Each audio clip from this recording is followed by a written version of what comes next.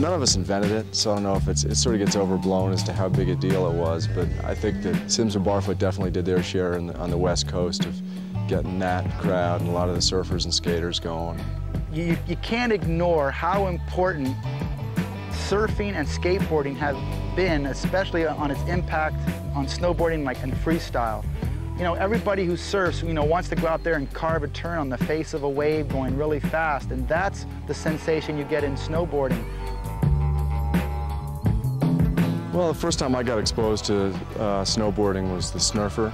I got my first Snurfer when I was 14, and you had a rope on the front, and you'd wear like high, like basketball shoes, high sneakers. And the bindings were nothing but like these staples that were just like nails that were just pounded into the board, and you sort of gripped on them. Actually, they were pretty grippy. You know, bindings have been a critical part of snowboarding from the very beginning. You know, if you look at this board from over 20 years ago, all we had were a couple of radiator straps and some golf shoe spikes. We were just desperate to keep our feet from sliding around so we could have better control. I mean, it was an adventure. It was more like just staying on. That was the whole objective. It wasn't what you could do. It was more just like how far could you go until you and the board became, took different flight paths or whatever.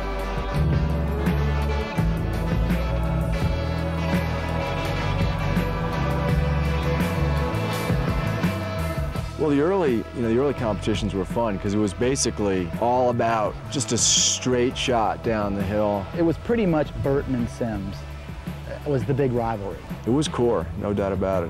Oh yeah, it was very, very competitive. It got to the point when, when Jake Burton recruited Craig Kelly from the Sims team. That was a huge blow.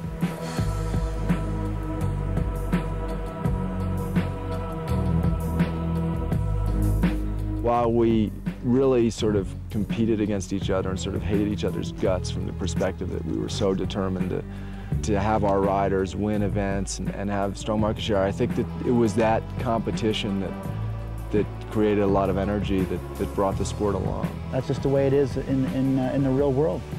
You know, we discover the riders and then they get them.